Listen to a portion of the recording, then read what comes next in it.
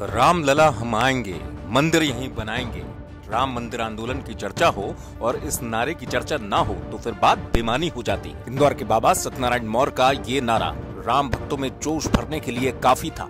बाबा सत्यनारायण मौर्य ने ये नारा दिया था उज्जैन में, जिसके बाद कार के साथ ही राम भक्तों की ज़ुबान पर ये नारा चल बैठा। आज बाबा सत्यनारायण काफ़ी खुश हैं। काल के बाद में अंग्रेज़ों के टाइम भी संघर्ष रहा। एक बार तो मुस्लिमों ने तय कर लिया था, जन्मभूमि हिंदू को दे देते हैं। तो उनके जो नेता थे अमीर अली और उस समय स्वतंत्रता संग्राम के बागी थे बाबा रामचरण दास, अंग्रेज़ों ने दोनों को उठा के कुबेर टीले के पास में फांसी पर चढ़ा दिया था। लोग उस इमली के पेड़ की पूजा करने लगे जिसपे फांसी पे चढ़ाया तो अंग्रेज़ों ने इमली के पेड़ को भी कटवा दिया था। बहुत लंबा संघर्ष रहा है राम जन्मभूमि का। उन्नीस में हिंदुओं ने एक बार इसको फिर तोड़ दिया था। अंग्रेज़ों ने टैक्स लगा के फिर से बनवाया था। ये बाबर का ढांचा था, बाबर का ढांचा भी टूट चुका था, फिर अंग्रेज़ों ने इसको ढांचा बनाया। इसका बड़ा इतिहास है। उन्नीस में जहाँ पर मूर्ति की स्थापना हुई, लंबा कालखंड गुजरता रहा।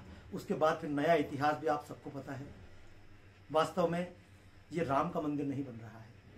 ये जो राम मंदिर बन रहा है, ये संपूर्ण राम मंदिर भारत माता के भव्य मंदिर की आधारशिला है।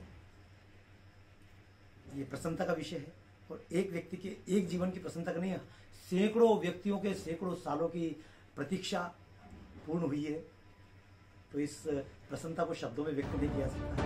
हमारे लिए सौभाग्य का विषय दरअसल, जिस वक्त राम मंदिर आंदोलन जोरों पर था, बाबा सत्यनारायण राम मंदिर से जुड़ी कविताएँ और नारे लिखते थे और उसे दीवारों पर लिखकर राम भक्तों में जोश भरते थे इतना ही नहीं, सत्यनारायण मौर्य ने तो अयोध्या में रामदला के पास एक बैनर से अस्थायी मंदिर जैसा ढांचा बना दिया था। जो हुआ, अंतिम जो संघर्ष हुआ, उसमें हर प्रकार की कला आहुति देने का मौका मिला। कैसेट्स बनाने का, गीतों का, नारों का, ये सब नारे बनते गए, दीवारों पे लिखते गए। और प्रभु श्री राम को नए मंदिर में बिठाने का सौभाग्य भी हमको प्राप्त हुआ। कपड़े का मंदिर बनाकर हम प्रभु राम को बिठा कर आए थे। इतने वर्षों तक प्रभु राम ने हमारा आतिथ्य स्वीकार किया। शबरी की तरह वनवास में जैसे प्रभु राम रहे, ऐसे छोटे टेंट के अंदर हम सामान्य कार्यकर्ताओं के दिलों में प्रभु राम रहे। अब प्रभु राम वापस भव्य मंदिर की ओर जा रहे हैं। मैं तो तब भी कहता था, मंदिर तो बन चुका, उसे अब केवल भव्य बनाना है। टाट हटाकर ठाट बाट से स्वर्ण शिखर तक जाना है। इस अवसर पर इतना ही कहना चाहूँगा, राम मंदिर की खुशियाँ मनाइएगा। लेकिन ये मंदिर क्यों टूटा, इसको मत भूल जाइएगा। राम मंदिर बनना उतना उस पर विचार करना इतना महत्वपूर्ण नहीं है जितना इस मंदिर के टूटने पर विचार करना है। क्योंकि राम मंदिर इसलिए टूटा, हम राम के आदर्श को भूल गए।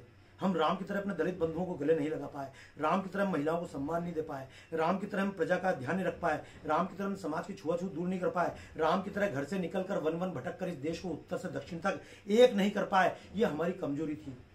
ये अगर फिर कमज़ोरी आई तो मैं एक ही बात कहता हूँ, मंदिर के राम अपना मंदिर नहीं बचा पाए बहरहाल, बाबा मौर्य खुद को बेहद सौभाग्यशाली मान रहे हैं कि उनकी जीते जी मंदिर निर्माण का कार्य शुरू हो गया है।